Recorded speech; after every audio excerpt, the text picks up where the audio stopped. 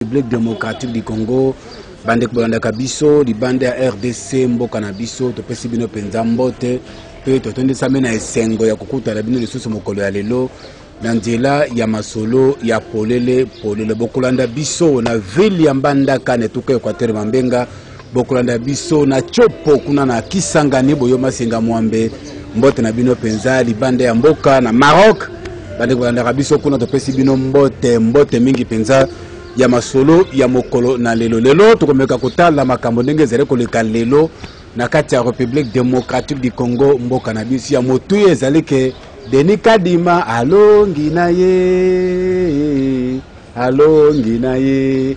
Denis Kadima ye wana alongi ye nde moto ako remplacer Corneille Nangaa mpo na kokamba ndako ya maponami to mpe CENI awa na RDC mpo na kolengela maponami ya 2023 Felix Tshisekedi tata mokonzi ekolo alobaki yango lobi na butu akobimisa ordonnance mpo na kopesa bango makoki ya kosala mosala kolengela makambo te kende mpenza na ndenge ya malamu na RDC mboka na biso na ntango yango makambo ezali kobongisama Na ngambo mosusu, bato bazali kolinga te makambo ebonga, me bato mosusu baye kotelemela bango. Banani wana? Bandeko ya Onatra SCTP babimaki na balabala mpo na korevendike badroit na bango, me balukelaki bango na ndenge ya mabe ya kokanga bakangi ya kobeta babeti neti president ya intersyndical ndeko Armand Osase amonaki oyo aye makambo lobi.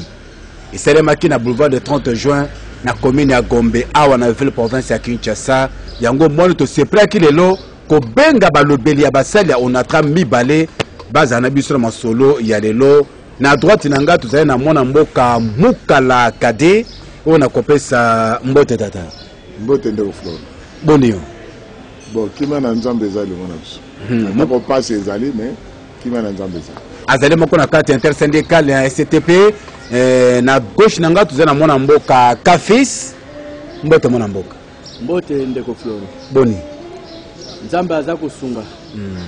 nzambe aza kosunga boremarke ke bazali bango mibale balobeli ya basali ya onatra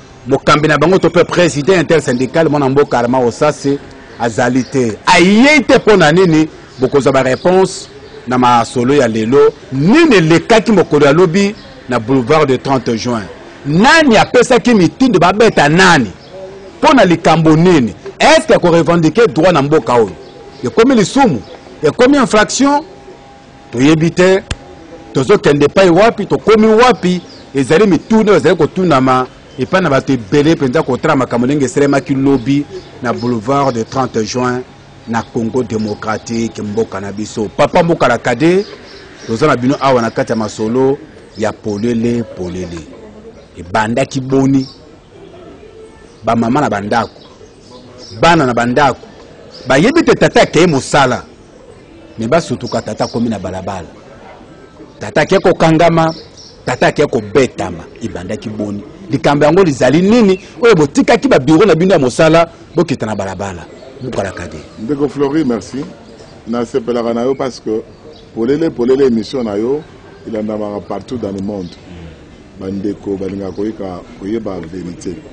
Verite yango nde biso tolobaka. Ebandaki boni biso ba sali Onatra topesaki preavis de grève na chef de gouvernement uta deux semaines mokonzi ya gouvernement le premier ministre Sama Lukonde azwaki mikanda na biso. Tobisaki ye soki yo osilisi makambo na yo te ya liboso esengeli koyeba boye. Hmm.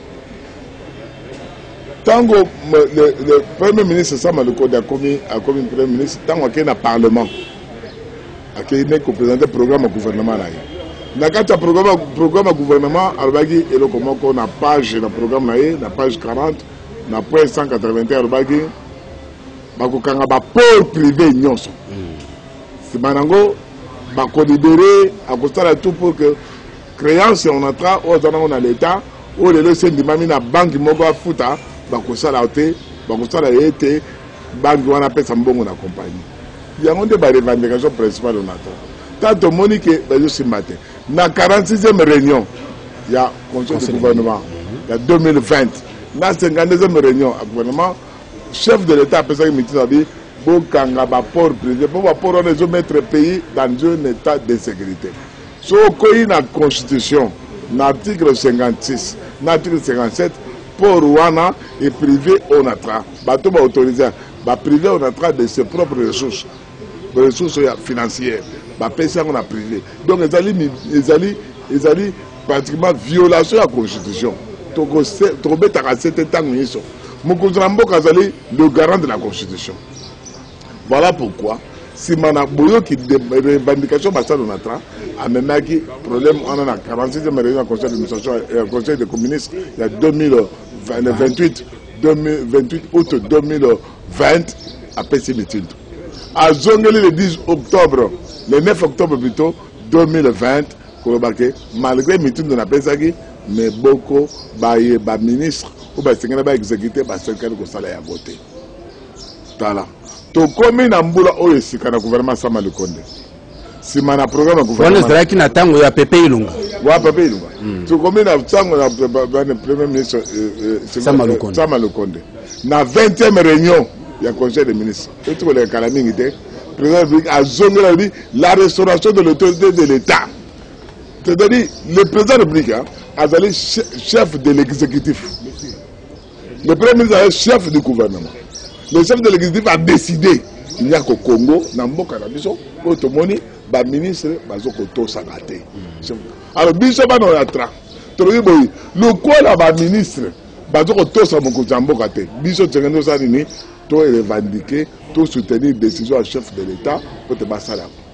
topesaki preavis epai ya premier ministre samuel konde tokosile cahier de charge tosenga biloko mibale fermeture de tous les ports privés dans le bief maritime na kuna na est kuna na bukavu kuna mpe kuna na ntango ya afdel na ntango ya rcd bazwa port oyo ezali esengeli oyo ezali na maboko ya sncc babotola tobesi mbela bandeko ya sncc esika bino bozali boyeba ke biso tolobelaka awa na trai te tolobelaka mpe bino hmm. décision ezali toza na commission kuna na gouvernement bakokanga bapode nyonso wana wana ya liboso ya mibale tosengi ke gouvernement ministre ya finance nkombo na ye nicolas kazadi ah, ndeko na ngai nayebi te soki aza membre ya udps soki aza parti nini na kamwaka likambo aza membre ya udps nao kama soki aza membre ya udps ye nde moto ya liboso esengeli atosa président ya république mais natalaka image moko image moko eleka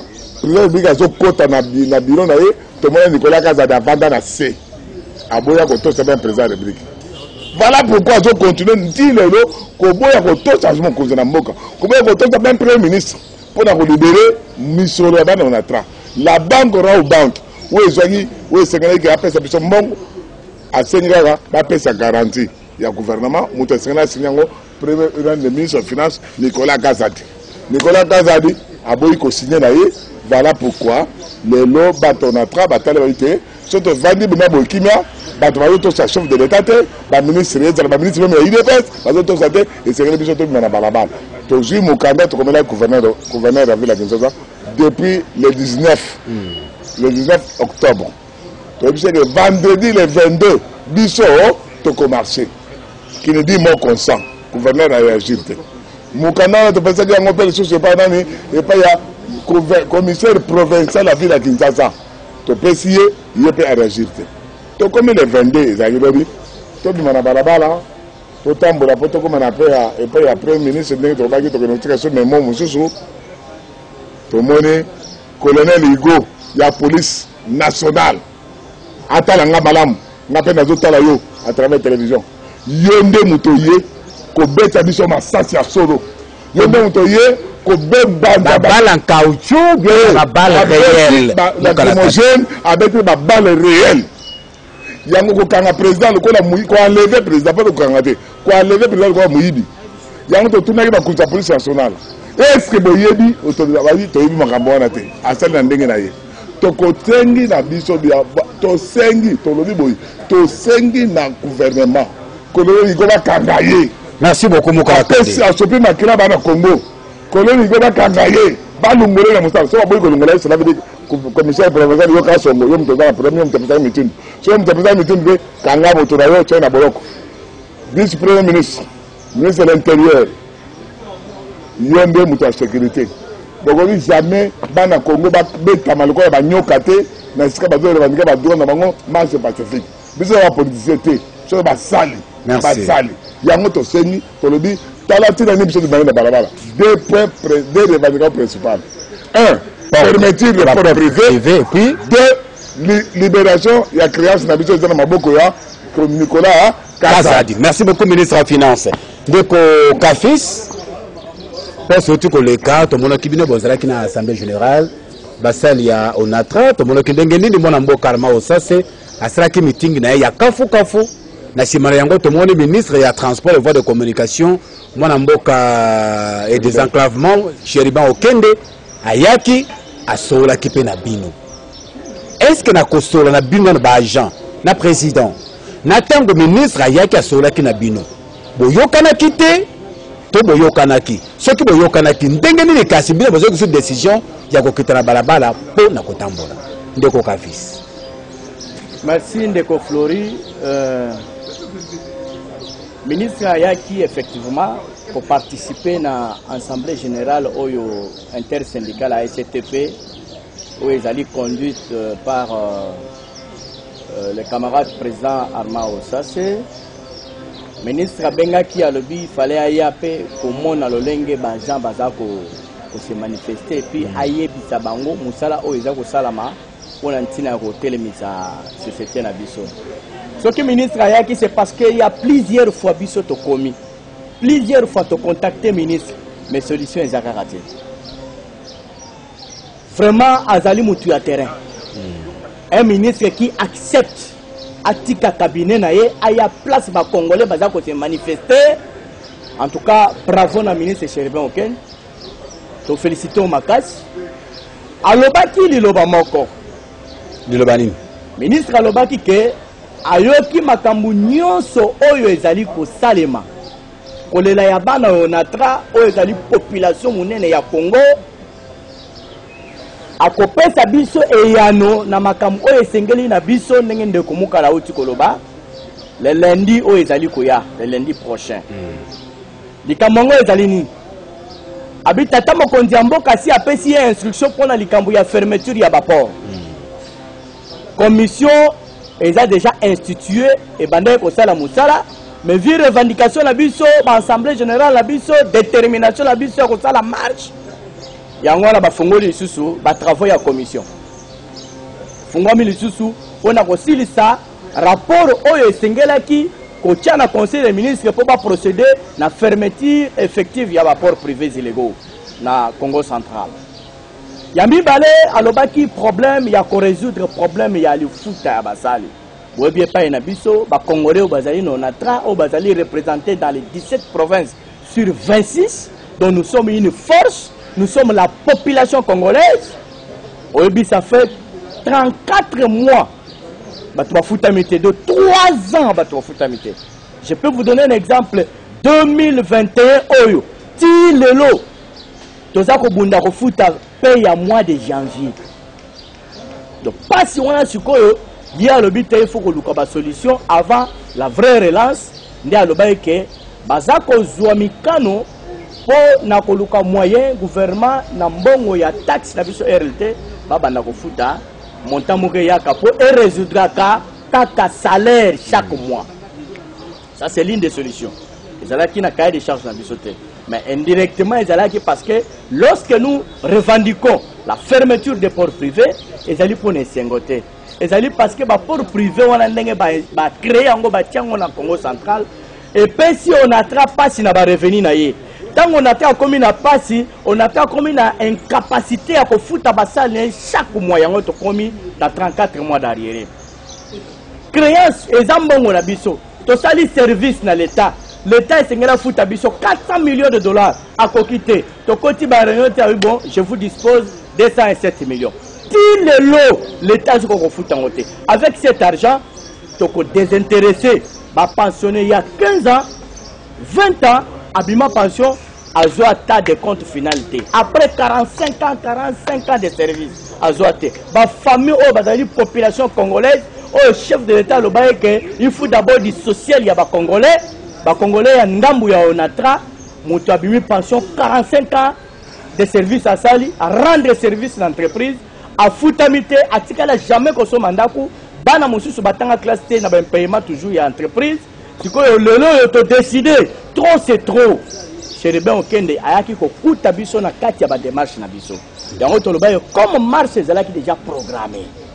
Marche ezalaki déjà programmée tolobi esengeli to te manifester parce que mokonzi ya mboka ya lelo marche ezalaki programme we est ce que bozwaki autorisation ya hôtel de ville ya kinshasa ndeko floride yo otanga klasi biso nyonso totanga klasi toyebi mpe kotanga mibeko ya mboka hmm. biso basendikaliste toza lokola bapoliticien congolais te biso tomibengaka balegaliste est ce que mpo na kosala marche il faut avoir une autorisation des autorités autorisation nous informons c'est ça la constitution nous avions informé to informé tokomeli gouverneur de la ville que na date telle tokotambola de la gare centrale topesi itineraire ti na, na primature tokotambola quitte au gouverneur de prendre des dispositions ya encadrement et que soki gouverneur amonaki ke mokolo wana ekoki kocoïncide na événement moko eza na kati ya, ya ville il pouvait peut-être nous inviter de commun accord toyokana tosala report ou bien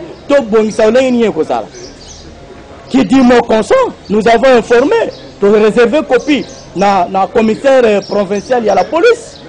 ye mpe abengi biso te tomoni que nous sommes dans le bon et surtout que c'est une marche pacifique ya basali donc il n'y aura pas casse il n'y aura pas débordement ok c'est à vous de nous disposer la police capable na koencadre biso pour éviter qu'il y ait des intrus na kati ya marche na biso Mais il n'a pas fait ça, ce n'était pas le cas de la part du gouverneur et de la part aussi de, du général Kassongo.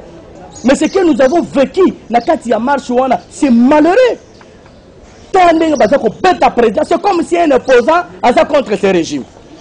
Mais marche ezali pona ko soutenir mokonzi ya mboka na décision na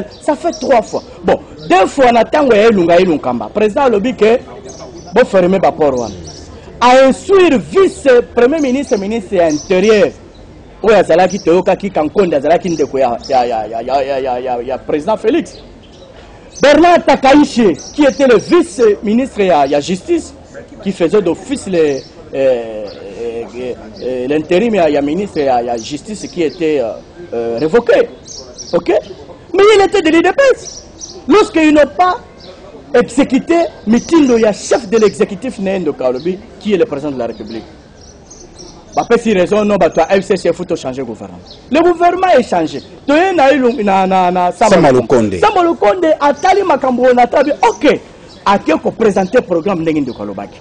Mais sikawa ti lelo oyo esalami te.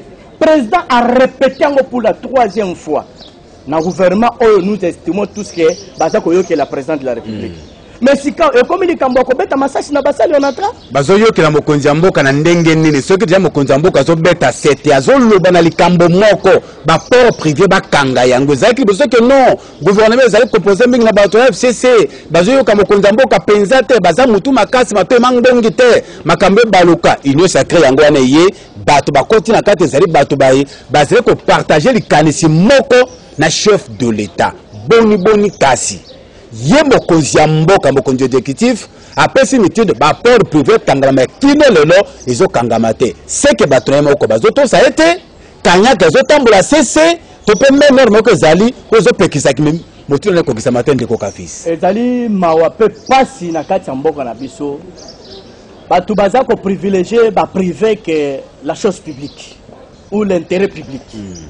ozomona bazochosifie congolais bisika nyonso azali dans tous les domaines Biso epai na biso na Natoto Bicha, tokoki kozala chosifie boye te, ezala na presidence de la Republique, je dis, ezala na gouvernement ya lelo oyo, ezala na ba institution nyonso, parlement, tututu nyonso, ba service nyonso ya l'Etat moto moko te akoki kotombola mosapi na ye aloba eke alia mbongo yonatra te Ou bien atanga na mbongo ya Onatra te. Soki papa na asala na Onatra te, noko na asala na Onatra. Soki noko na asala na Onatra te na mboko yo, tata mwasi na asala na Onatra. Ce n'est pas comme ça que l'État congolais na ba konzi nyonso baza ko représenter l'État congolais. Pour l'État congolais to mona kayete. L'État a salibo, l'État a salibo. Mais ce sont les individus qui incarnent la responsabilité de l'État. Comme le local général Kassongo. Mais son colonel Igo de balle reel mokonzi ya mboka félix isekedi alobaki nini meme ata ngai boconstate ke nasali mabe revendiquer Il dit revendiquer. Quand le président de la République, oh, il y a Moni passe 37 ans, il y a lutte pour la démocratie, il y a lutte pour les droits humain ok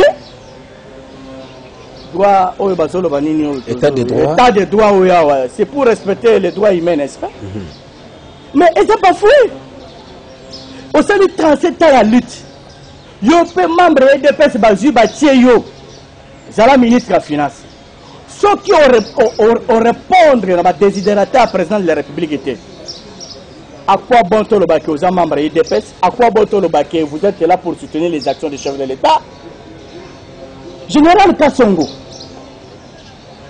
atouche basali ya onatra à travers colonel Igo na ndenge nini oyo bango na ndenge nini papa oyo tomonaki lobi hmm. oyo elekaki lobi me bilili ezali bilili ezali tomonaki bino bobandi kotumba liboso na bapneu na kati ya boulevard botie potopoto na kati ya boulevard mituka eleka te mpo bino basala na tra bolingi bosala masengeli eh, congolais azalaka lolenge soki amoni hmm. ke babandi komenace na kote na abandi kopesa baraison contraire mpo akweyisa moninga biso grève na biso ça fait déjà une semaine toza libanda hmm. totikala jamais kotumba pine libanda kaka na kati ya nini ya société et puis la police de fois alekaka kone alekaka avandi libanda akotaka te toza na kati ya ndako tobi biso kaka na kati tobandaki d'abord sitine liboso ya primature tosilisi kuna toyei konsava comme sitine esalemi na primature bayambaki biso na primature pas par le premier ministre mais baconseiller na ye tosololi résultat moko ezali te bobo biso sikoyo tozongi na ndako normalement elingaki ezala chaque jour tozo kozala s'il fou boloba likambo ya perturbation à l'ordre public tonga normalement comme topréavisaki premier ministre on devrait être toujours là-bas à la primature chaque jour jusqu'à trouver satisfaction na ba revendication na biso mais nous avons dit comme tosali un jour kuna revenons dans la maison tozala liboso ya ndako c'est pour ne pas euh, perturber l'ordre public tovandi mais lere todeside ke maintenant tokomoni bakoya sikoyo toza kobima tosala marche ti kuna bango baye bakoya mpo na nini parce qu'ils étaient saisis légalement officiellement il faut baancadrer c'est la moindre des choses mais baye image ezali oza na image omona mbala moko bu bakoti na foule neti événement a est est bazoboma bato kuna mais awa bozozwa baapprenti policier mais nous avons constaté que ce ne sont pas les apprentis policiers ce sont les différents gardes de corps ya ba ya ba bato oyo ancien régime oyo batie baport privé nde batindaki basoyela tozomona yango lolenge wana voilà, voilà. on a pointe du doigt na biso nyonso ngai balinga betanga masasi Mpo osali nini? Oh, nga president Armaler bakangi ye, nga nalingi mpe nakende mpe bakanga na accompagner ye, babrake nga arme. Adjudant moko alobi kobeta te, kobeta te, tya beta likolo, amatisi abeti likolo deux balles, papa papa papa. Debat réel. Soki oyo nonatre. Et puis ya mabe lisusu. basali violation lelo bapanzi ba agence robe o oh, bakangi pres yoyebi kaka soki leader mm. na bino bakangi esalaka ndenge nini débordement esalaka te mm. alors banani basali ke ordre public ebeba ce n'est pas cette police dirigée par colonel igo colonel igo ozomona boya bo encadre obouleverse l'ordre public basala babi te bosi c'est comme ça bolibere biso agent partout tout monde c'est comme ça c'est pourquoi batiaki pine pine ye kotiama na boulevard parce que ya eu des arrestations ya eu des eh, baballe euh, réel oyo babetaki après baye kolanda bakoti ti na kati onatra na kati lopango na kati lopango onatra hmm. bapanzi bavitre nyonso na entrée ya batiment na biso bapolisier bapanzi bavitre bapanzi bavitre Bakoti bakende balongola television ezalaka na, na rez de chaussee bayiba bayiba bakita na yango babotoli bato batelefone bamati ti na premier deuxième niveau bon soki baja onata bazalaki bato ya mabe je, je donne un exemple na kanda wana ya 34 mois d'arrière de salaire bozobeta masasi boye na événement ndenge wana obendi kaka motu boye obendi ye kaka boye akwei na se kuna panza bolobaki onata abomi policier boloba que on a trait déjà là-bas bokoma oyo bato ya fayulu baza kuna babomi bapolicier non nous ne sommes pas des opposants nous sommes basali les travailleurs chaque travail mérite salaire na ye merci beaucoup ekoma ya kobeta bato masasi non non non non non c'est pas comme ça merci beaucoup merci beaucoup euh, ndeko kafis likambo ezali awa makambo mibale port privé na likambo etali misolo likambo ya baport prive yango mpe ezalaka ya nani oyo atonga baport prive oyo ke chef de l'etat félix antoine tshisekedi tshilombo apesi mitindo alobi bakanga yango me banda apesa mitindo wana depuis année passé kino moi ya lelo port wana bakangaka yango te mokolo baport wana mpenza azalaka nani mokalakadi ndeko flori Na dernière emission toza nga na yo na biso ke tokotanga kombo ya ba kolo port privé. Mhm. Mais na koyebisa yo boye le principal actionnaire ba port privé botala nga bien bino ba gestionnaire le principal actionnaire na bino botialaki motema ateka ba action na ye alungwe parce que ayebi nini ke bato na tra baza na na raison ke bino port na bino eza illégal Alungwe yango nde bokomi kotelengana na balabala bomolandaka bato bofutaka mbongo mpa ba ministre et le ministre yoka ndeko flori eza mawa hmm. mingi hmm. babengi gouvernement de warrior bawarrior baza kuna te baza te oh. baza te ndenge nini mais ntango bapresente rapport ya commission hmm. epai ya vice premier ministre euh, vice ministre de l'intérieur apresente na conseil de ministre ya le 25 septembre tozoloba bien natangi na date Quatre ministres ba soulever ba exception. Okuta ministre moko azaka ministre de l'intérieur. Ayaka ministre provincial ya transport ya transport na Congo central. Ye nde moto apesaka autorisation na port moko kuna po euh, euh, e fonctionner. Ministre wana ti lelo azo défendre port na ye. Excellence monsieur le premier euh, monsieur le président République. Ministre wana azo défendre port na ye. Port oyo bato babisela ye mbongo parce que aza membre ya FCC. de un autre ministre o oh, soit disant euh, nini ye mpe aza kuna kaka bato ya eh, bantie membre ya fcc ti lelo baza kuna moyen ba batika eza te mpo bato bazwa kanyaka na bango bazwa kanyaka na bango na baport privé wana tala bato wana nde basolevaki exception donc mpo na baintérêt na bango bazointérêt na bango olie ezalaka le conseil des ministres ezala décision unanime certains ministres batelemaki bapesi observation na bango buta le 25 septembre bagouvernement basengi bango bokende koverse baelema boza nango na commission babatala soki eske eza ya solo eza lokuta banda wana le 25 septembre kino lelo tokomi le 22 eh, le 22 octobre le 23 octobre mm. batika kotika te c'était des dilatoires biso comprendre que eza ba dilatoires faut babloke nani babloke vice premier ministre babloke ministre ya transport babloke mpe na madame la euh, ministre d'état ministre euh, ye de la justice babloke mpo na nini badécision wana elekaka bongo ndikoa bitomesana ya congo revendication eza te so omoni dossier eleki bakozongela yango su te c'est ça la réalité réalité yango wana Et aujourd'hui, tokei musika. Tokei musika tokomi ti lelo na mambo ya port privé, makambo port wana ezosanga nini? Bato wana bazotambola na Kinshasa awa, batambola na misolo. Basengaki babengaki ti moko na bango abengaki ti président Armand Osase. Tala telefone bokanisa bokosa lokuta te, telefone ezali ya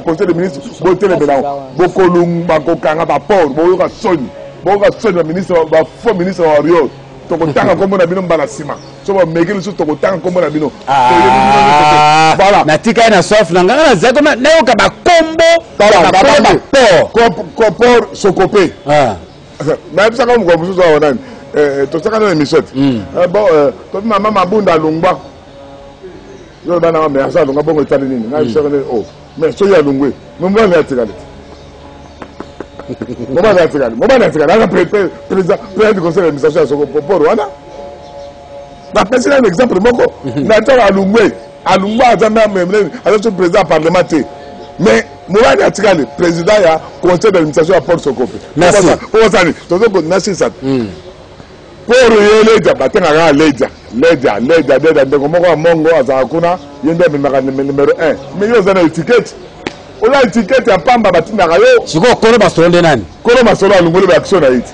Yo moko yebisa bato kolo masolo alongoli masolo alongoli ba inte ba action na ye. Bo bo comprendre kaka kolo masolo. Kolo masolo aza alongoli alongoli ba inte ba action na ye alongoli yango ati yango. Kolo masolo aza akombo te. Kolo masolo aza akombo. Aza akombo te. Voilà. To to nasi ça. Kolo masolo ateki. So ke na kuntwala. Oh. mais ndeko ndeko bakuntaka bokanga na bagenre na tala na matadi mpo batanga bino na na makambo ya kuntu wana mikolo bi bato basomba basomba soki enini igale soki nini soki nini wana eza bino te soki otali nani asema nango merci beaucoup mukala kade voilà ndeko limbisa hmm. wana totaki makambo ya porte privé nakozobeta su sete likambo ya ya ya 207 hmm. création na ta eza eza faveur te leta azopesa biso hmm. eza faveur te ezali droit soki yo oye basalisi yo mosala olobi bopesa ngai bomema biloko na ngai nakofuta bino nsima eza nyongo okofuta nyongo si l'état ne paye pas les dettes intérieures c'est-à-dire azoboma baentreprise tozongi na nicolas kazadi nicolas kazadi mbongo akofrape wana eza te mbongo akofrape wana eza nango te eza mbongo ya normal nyongo basalo na tra libere dossier Tokotanga yo tobandi lelo tobanda kotanga yo chaque jour yeba ke bato bazoki bazwi masasi kuna eza faute na yo pasi olibela keveance wana nde bato batamboli te me nikola kasai toyebi azali mpenza moto azosala mosala na ye kitoko aleka na bemisio alakisa ndenge azosala mosala ezopesa esengo na bana mboka tokotambula toko na taya ona traza lokuta makambo ete etambola boye ndekoapesi kamarade na ye nani ya oyo oh, azali dg na rva rva apesi mbongo to basengi meme ate gouvernement ayebi yango te alipesi ye okarizon akende kosenga mbongo na akende kozwa mbongo na banke bapesa ye so permettre ye mais ya onatra eza na mesa na ye ça fait deux mois eza na mesa na ye deux mois na mesa na ye na tiroir na ye avandi azoboya kosala monsieur le ministre ya finance euh, ndeko nicolas kazadi nakanisi oyoki mbele ya basale onatra ndenge balobi misolo na bango baza na yango bosenga eske eza mpenza ya solo kende moto bloke oboyi kobimisa misolo mpo bazwa yango porte ya polele polo eza ya kofungwama tokoluka mpe makoki ya koyamba yo tozwa mpe makanisi na yo eske eza mpenza ya solo yo nikola kazadi na ndenge toyebeli yo nde oza blocage mpo basala na tra bazwa misolo na bango te ndeko kafis olinga ko complète que quelque chose ntango momo kalakabe azalaki koloba koloba ke ça va de l'intérêt des chefs de l'état hmm. mpo na fermeture ya baport privé en dehors na raison wana ça va aussi de l'intérêt na congo mobimba hmm. na congo mobimba quand le chef de l'état na conseil de ministre alobi ke Tout ce port là lolenge bango ba fonctionnaka aucun service de l'Etat azalaka kuna na kati. Et le chef de l'Etat vous dit que aucun service de l'Etat. C'est-à-dire l'Etat aza na intérêt moko na kati kuna. Ezali te. Ba intérêt yango ezali. Ba service wana ezali. Hmm. Service ya DGDA. Eza te. Ane eza te. Eh, nani quarantaine quarantaine eza te occ eza te c'est-à-dire biloko mabe ekoki kokota kuna ebimi na yango biloko hmm. mabe ekoki kokota eye eye moto akokontrole yango eza mpe te ebimi moto akokontrole yango eza te et vous savez à quel état notre pays se trouve aujourd'hui na kati ya centre ya, ya, ya afrique biso tozalaka dans une certaine insécurité qu'il ne dit pas son nom. Donc ça peut s'éclater à tout moment. Mais lorsque dans l'ouest a pays, vous n'arrivez pas à contrôler les entrées et les sorties, n'est-ce pas La frontière, na pas directement dans l'océan. Mais vous êtes, vous êtes un pays foutu. Alors, qu'est-ce qui fait l'âge de la mer Il doit procéder aux arrestations directes il y a des opérateurs économiques, il bah, y a des rapports privés. Quand lui-même, le chef de l'État fait le travail à votre place, qu'il n'y a aucun service de l'État là-bas, il faut aller contrôler, bilo qu'on des quota, bilo qu'on bima, à l'issue, il y a de service à l'État congolais. Ça, bah, il va sauver le Congo. Ce sont les agents de l'ONATRA qu'on a tiré hier, que le colonel Hugo a donné l'ordre de tirer. Ce sont les agents de l'ONATRA sauve, n'est-ce pas, le président de la République, parce que vous savez, l'Est du pays, banda insecurite toyebaka date insecurite ebandaka hmm. mais ce oyebi date yango ekosila toyebi te mais maintenant na l'ouest ya pays soki insecurite ekobimaka na nzela ya oyo awa tala nzela ya bakongo oyo kaka na bantre bazokotisa biloko wana moi je veux vous dire ceci hmm. ça va de l'intérêt cette fermeture de pauvre ça va de l'intérêt ya population congolaise na kote économie Donc biso tozo senga na mokonzi ya mboka. Yango nde kozala pe lilobano ya suka po ngonga na biso okay. ya yango wana. Biso basali yo na tra. Hmm. Toza ko soutenir ba décision na yo trois décisions vous en tant que le chef de l'exécutif et aussi le garant de la nation. Vous serez seul à justifier votre mandat en 2023. Ah, ou tu renommé euh, Ndeko Kazadi. Kadima. Kadima. mpo na nini mpo na baélection mpo na baélection hmm. totikali na ko année prochaine eza année ya tratraction ya baélection baoyo badérange baoyo bakosaki olingo prolonge ok mais bango moko manœuvre baza kosala pour que makambo ya seigneur se retarde mpo biso toyebi ke partout tout monde seigneur ezalaka nango toujours euh, politique ezalaka politique te bapasse temps mingi mais yo insiste onome mpo finalité nini baélection baélection yango koya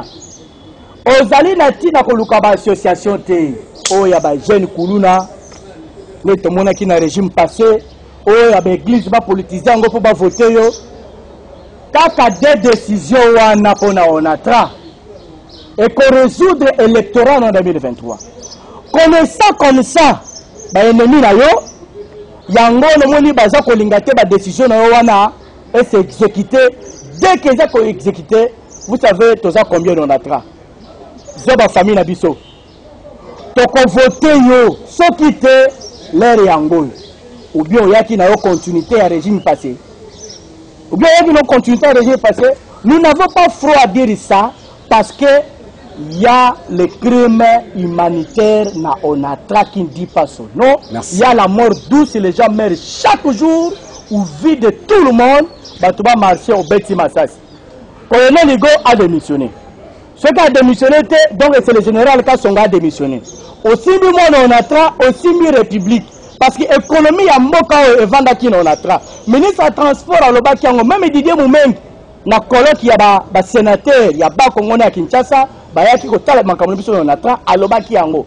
que l'économie ya mboka oyo nyonso eza na kati onatra relancer l'onatra c'est relancer l'économie nationale mm. osimbi mwana onatra osimbi congo démissionnaire général kasongo na colonel igo merci beaucoup wana ezalaki mwana mboka kafis mokalakadi tokomi na suka liloba no eza nini ah, général kifwa ah. yangoko nalobi boye tozanga na général kifwa o oh, avanda esika ye azali avanda esika aza mosala malamu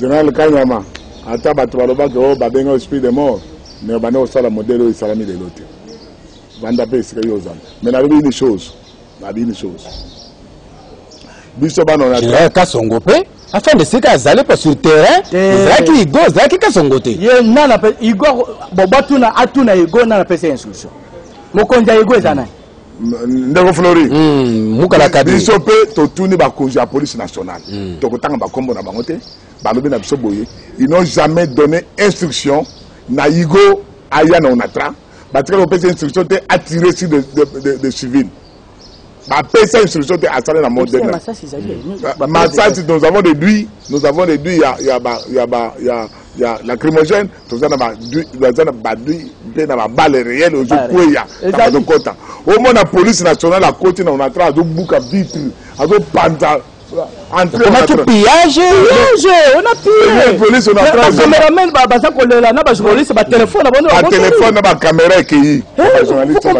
bato baa na nzala bato kutu baza baa na nzala bazopille te mais ce qui sont censés protéger baye ko piller baye ko piller ça c'est le monde à l'envers non et puis on sera vraiment démissionner d'ailleurs tu peux porter plio plainte bon tolobi boyi mukala kadi étant donné que biso to soutenir décision ya chef de l'état chef de l'état moto adécidaki fermeture de port privé hmm. chef de l'état gouvernement à travers le conseil des ministres alobi bapesa na tra créance na ye biso toza nsima na nini badecision chef de l'etat yango nde biso tozotosa so bino baye koboma biso cetadire bino bozali contre le chef de l'etat ezali contre biso te voilà pourquoi toutes les, tout, toutes les autorités compétentes moko na moko a tiré conséquence ministre de l'intérieur tiré les conséquences tala bato oyo baza contre le chef de l'etat bango wana ya police nationale bango wana ye le chef de, le chef de gouvernement tala le ministre ya finance aza contre le chef de l'etat ye babi babi na biso ateti ayokelaka mutu te atosaka ne mutu moko te tomona ye atosa kutu chef de l'etat te se leta azokota na biro ye avanda na kiti azobeta masolo na coin atuna sele ya languya ah. donc tomona ke atosaka na chef de l'etat te ya mbala oloko akoti dossier na tra eza na mesa na ye tolobi boye idps hmm. le président un intérimaire jean marc kabund secrétaire général kabuya bolongola moto na bino so bolongoli ye te biso basali le peuple le peuple d'abord oyo président alobaki le peuple c'est nous biso to basali tokolongola ye elere wana ekozala contre bino tokoya mpe na siège na bino tokosala manifestation na bamembre na bino boyini baza na onatra merci beaucoup toyokaki ke bakangaki baja ebele ya onatra batiki bango ezazokisa ndeko flori le président armand modele babetaki ye Ah toza tozo loba boye aza na kati na hopital bazo sala be examen scanner ya mutu scanner makofi ya batutaki na bato ya azalaki na problème na na ba policiers wana okoma parce Mais que bato ya bazo beta ye bato ya baport privé bapesi mbongo baboma biso mbongo na nzela colonel pour que Baboma biso. Baboma ye. bana batanga biso ye, ba- nga bato ya bateka biso. baport privé bapesi mbongo baboma baboma président arma osase comme ça revendication kozala su te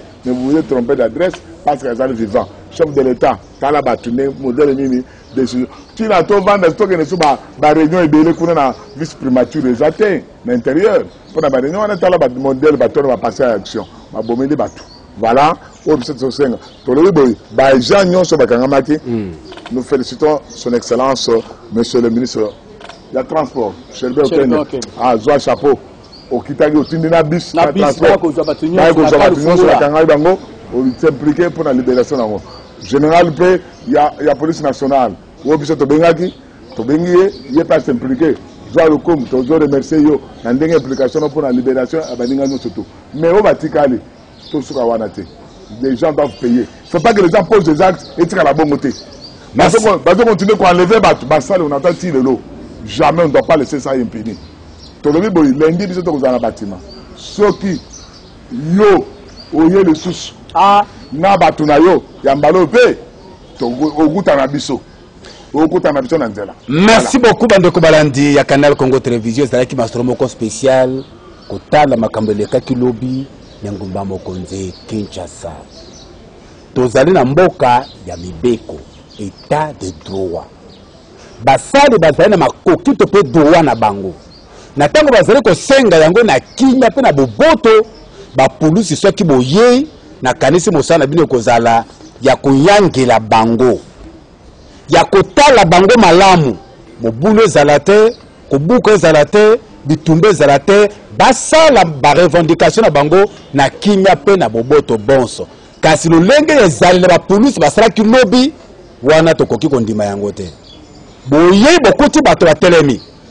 baza na mposa ya komanifeste esika ete boencadre bango boyebe kopelisa moto likolo na bango te bongo te bongo te tobongisa makambo ya boye soki bolingi bosala yango na beni ekozala kitoko mpenza bokene yango na beni bolakisi ke non biso toza prêt mpo na koatake baadf nalu tokobeta bino maboko mais kosala yango na ba civil oyo bazali ko revendiquer ba droit na bango kobeta kotuta lokola miyibi boye te wana te wana bobungi rumba fort wana bobungi rumba na ndenge ya moke te merci beaucoup na bino banso bozalaki libaku ya kolanda biso masolo ekomi na suka nzambe abatela mpenza président arma osase mokambi intersyndical na bandeko basusu bababetamaki babetamaki nzambe asunga bango Eh, eza mokili nzambe asunga bango nakanisi bakonzi bakobenda bapulusi matoi eh, na bapanzi sango mosusu bakamera ebungi batelefone ebungi omoni bariske ya mosala oyo nzambe mpenza asunga asunga biso tozala mpe na respect ya mopanzi sango ntango bokalaka bakulu na ye eh, presse yaka zwa image me ntango bandeko basali bazo revendike badroit na bango journaliste soki aye kosala mosala amemi ngambo epai wapi Moto ya mota to sayo ezali mosala na ye mpo na kotombola Congo demokratiki mboka na biso ekende liboso. Mukala Kadi totonde botondi ndenge moko ndeko Kafis botondi mingi Lola Kinyamba botondi na yo ndeko Ibrahima Kusu Balak El Balasoka merci na yo Bruno Ndinga Christian Banzolo Fisto Atunga Dieu merci Kifo merci na bino tobosana mpe te Aleka Bongo Mobu Dudu Montiri mpe Romain Makonda Mbangi Makanga totondi bino botondi masolo komi na suka botikala malamu Tokota na bino mbala ya sima bye bye.